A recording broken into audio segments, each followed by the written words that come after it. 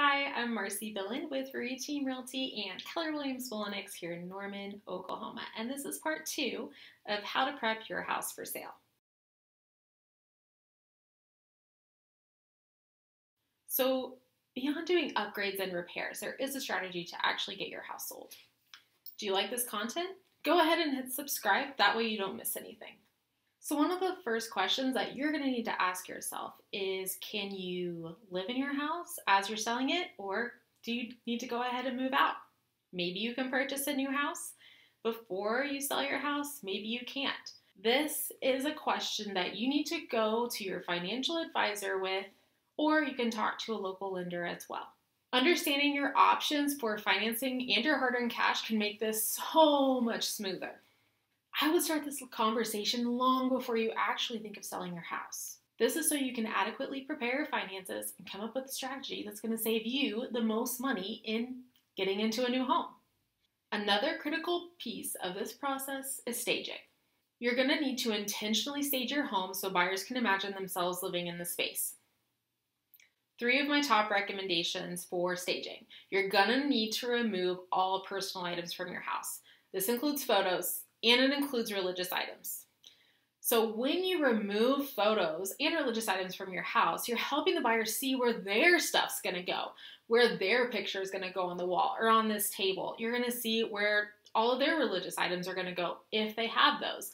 This helps them really put themselves in your house. And you want people to be able to imagine themselves living in your house, right? This is a big one and it's something I run into a lot. You need to remove all towels while you're doing showings and while you're taking photos.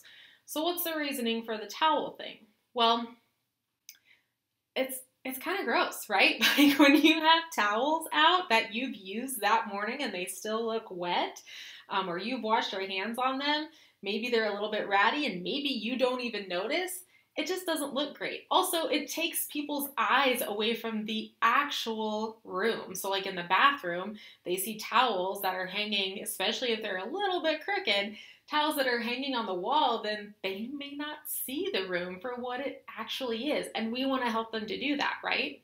The last thing is large pieces of furniture. So, a good rule of thumb is in any given room, you want to remove one large piece of furniture. So in the master bedroom, I often recommend removing one of the dressers or the only dresser if there is one in there. So the reason for this is your furniture is probably amazing and that's fantastic, but the buyer needs to see the space, not your beautiful piece of furniture. All of the staging helps you set up to get your marketing materials done. So what are marketing materials? Professional photos, probably video, maybe some 3D shots, and maybe even drone shots, just depending on your property. I don't always choose to do all of these, but a combination of these items works to get as many eyes as you can on your home. So, why do you need professional photos? Well, let's take a look at what an amateur photo of this house looks like. Here's the living room and the kitchen versus the professional photo. Professional photos help buyers want to look more closely at your home.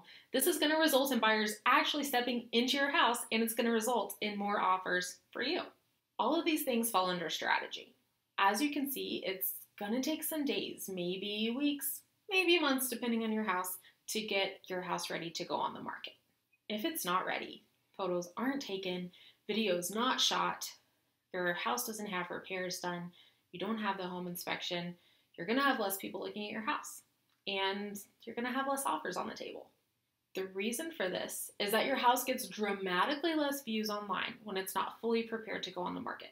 So here's a graph that shows how many people look at a home on the first day on the market versus later.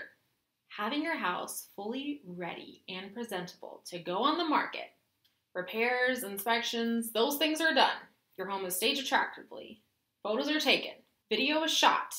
All of these things are done. This is going to mean more buyers that look at your house online. It's going to mean more that actually step into your house, and it's going to mean more buyers that are actually putting an offer on the table for you to take a look at.